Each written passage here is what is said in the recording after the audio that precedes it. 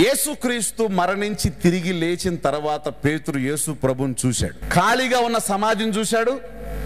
ఇంటికి వెళ్ళిన తర్వాత మరలా యేసు ప్రభు వస్తే యేసు ప్రభుని చూశాడు. కానీ ఆ తర్వాత ఆయన తీసుకునే నిర్ణయం ఏంటో రబ్బాయి అబ్బాయి ఏం జరిగిందో నాకు అనవసరం.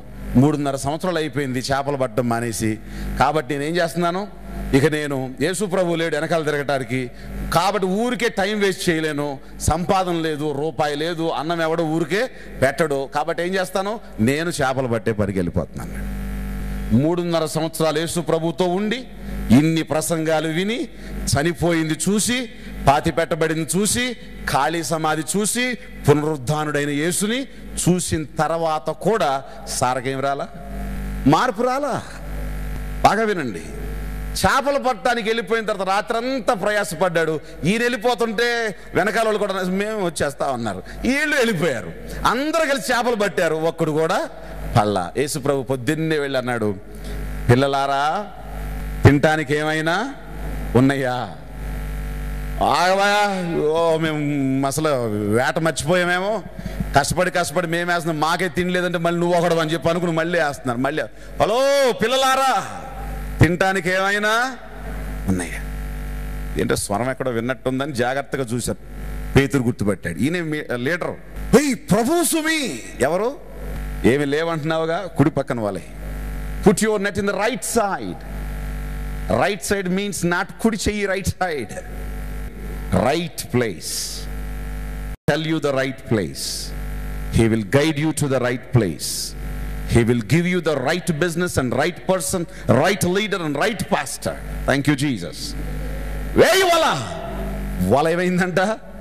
రెండు బోట్లు నిండిపోయినాయంట. అప్పుడు చూశాడు ఎవరైనా? ఇంత ఫిషర్మెన్ ఇంత వేటగాడు ఎవరైనా?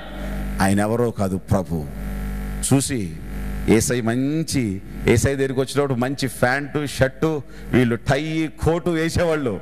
ఏమండి? కానీ ఇప్పుడు సార్ ఎట్టున్నాడు? ఒక బట్ట తప్ప ఏముండదు ఇంకా వాళ్ళకి. ఆ డ్రెస్లోకి వెళ్ళి అప్పుడు చూసి పేతురు సిగ్గేసి ఏం చేశాడు? నేను చెడి పక్కన వాళ్ళను కూడా చెడిపాను. ఆయన ఏ రూపాన్ని ఇచ్చాడు ఏ రూపంలో నేను ఉన్నానని ఎగిరి దూకి పశ్చాత్తాపంతో వెనక్కి వచ్చాడు. అయినా ఆయనలో మార్పేమి? ఎప్పుడొచ్చింది మార్పు? పరిశుద్ధాత్మ పొందిన తర్వాత.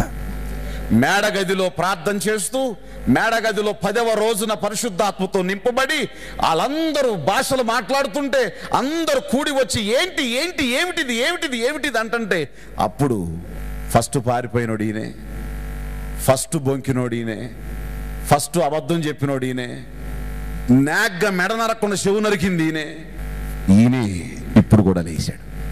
అందరు అనుకుని ఉంటారు ఓరు బాబు ఏం మాట్లాడతాడో? అనుకున్నారు కానీ ఈసారి మాట్లాడేది ఏమంటాడు? యోవేలు గ్రంథంలో. ఎప్పుడు చదివాడు యోవేలు గ్రంథం? యోవేలు గ్రంథంలో చెప్పబడినటువంటి ప్రవచనం ఈ రోజు నెరవేరింది.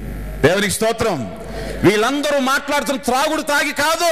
పరిశుద్ధాత్మ మా ప్రభు వస్తుందని చెప్పారు. ఆ ఆత్మ పంపించారు దానివల్ల మేమందరం భాషల్లో మా నీ ఇంగ్లీష్ నీ గ్రీక్ నీ హీబ్రూ నీ స్పానిష్ నీ నీకు నీ భాషలన్నీ కూడా ఎక్కడి నుంచి మాట్లాడుతున్నావు అంటే ఈజ్ ఆథర్ ఆఫ్ థంగ్స్ దేవునికి స్తోత్రం కలుగును గాక hallelujah is author of tongues కాబట్టి మేము మాట్లాడుతున్నామంటే ఆ అద్భుతానికి ఎంతమంది రక్షణ పొందారంట?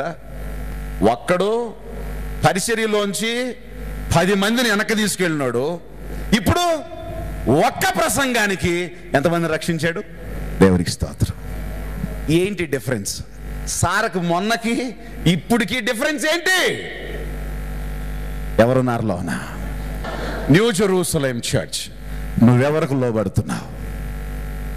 నీలో ఉన్న ఆత్మకు లోబడుతున్నావు. నేను ఈ తప్పు చేయను. ఈ పొరపాటు చేయను.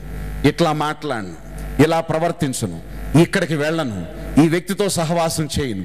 అని నువ్వు దేవునికి వ్యతిరేకమైన దాన్ని విడిచిపెట్టడం వలన నువ్వు దేవునికి విధేయత చూపుతున్నావు కాబట్టి నిన్నెవరు హ్యాండ్ ఓవర్ చేసుకుంటారు not the devils not the evil not the Satan not the woe but the holy spirit the spirit which is upon apostle the spirit which is upon prophet will occupy you and that spirit will lead you hallelujah హాలూయ హాలూయ దేవునికి మహిమ కలుగును గాక.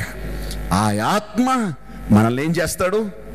ఆ ఆత్మ స్వాధీనం తీసుకొని మన అవయవాల మీద పని చేయటం ఆయన మొదలు పెడతాడు దేవునికి స్తోత్రం.